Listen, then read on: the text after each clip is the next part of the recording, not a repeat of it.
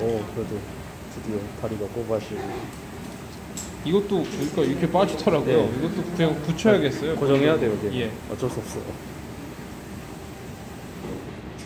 그래도 이제 덱, 먹선하고 대팔까지만 가면 되는 상태까지 아. 왔는데 아, 저왜 발목이 안 들어가요. 발, 그러니까 발목이 진짜 좋아 꼽아 골랐는데 진짜 안 들어가서 예, 저거는 뭐 어떻게